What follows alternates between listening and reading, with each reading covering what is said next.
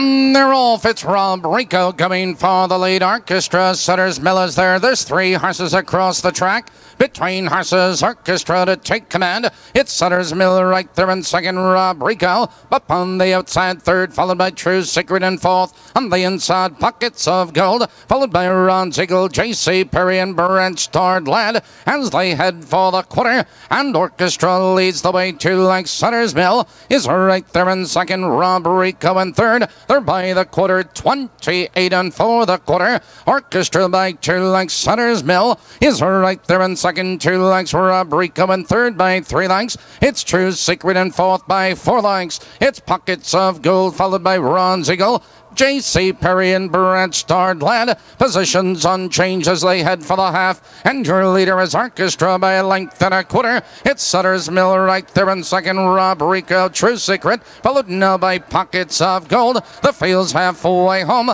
58 and 4 into the clubhouse turn. And Orchestra has the lead. Sutter's Mill is right there in second. Here comes Rob Rico. Third moving second on the outside. And with a rush, here comes Rob Rico to take command. It's Orchestra right there in second, followed by Sutter's Mill in third. And to the outside there goes True Secret, followed now by Pockets of Gold. They're moving for the final quarter mile. And Rob Rico on the outside. On the inside, it's Orchestra right there in second, Sutter's Mill. Here comes True Secret fourth. Now moving third on the outside, followed on the outside of horses, Pockets of Gold. But around the turn, Orchestra's fighting to come back. Here comes True Secret three wide. Here comes Pockets of Gold four wide. Down the stretch they come. It's True Secret with the lead. Pockets of Gold on the outside as Hamilton goes to the whip. It's True Secret with the lead. It's True Secret with the lead at the wire. Pockets of Gold close for third Sutter's Mill.